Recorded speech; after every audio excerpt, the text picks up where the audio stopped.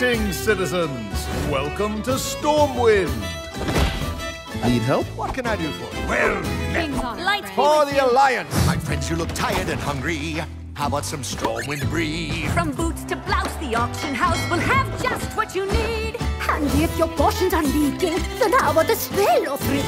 There's no excuse. The Blue Recluse will give you your drinks for free. Oh, just one! Stormwind, Stormwind, spells and shields galore. You think you've seen it all, you're sure to see something more. Don't be afraid of the shadows, the youthful king is fine. For presence here, the light is here to soothe your troubled mind. Stormwind,